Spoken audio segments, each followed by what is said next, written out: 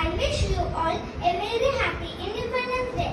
We celebrate Independence Day at 15 August. Today I am here to speak about my dream of a beautiful India.